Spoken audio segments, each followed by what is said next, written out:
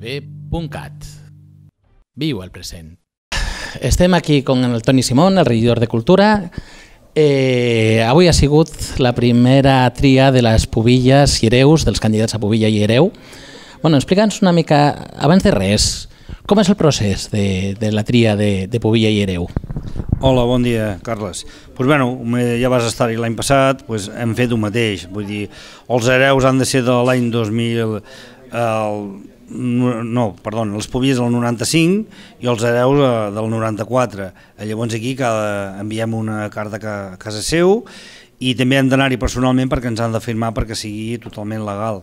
I després, bueno, eh, deixem unes unes a puestos a la rulla, a llibreries o bars, i la gent pot anar a votar a la piscina, i després avui hem fet el recompte i ara d'aquí sortirà doncs, les, els candidats a Bobilles i Hereu d'aquest any. Bueno, estava jo de testimoni de que ha sigut tot legal, com s'han obert les urnes, i el que he vist és que havia molt més votos que l'any passat.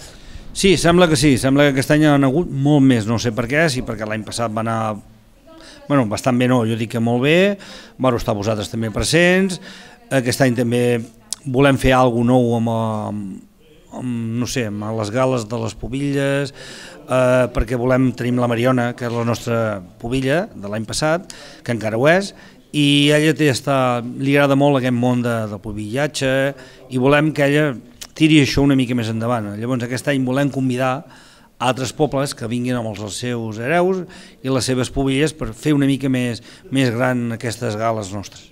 Vale. I la tria final com serà? Igual que l'any passat? Sí, sí, sí, el mateix agafarem, o sigui, agafarem perquè també va, haig de dir que l'any passat van haver-hi candidats que no, valen, no van voler ser-ho per problemes familiars, per problemes de que no hi eren, llavors què fem?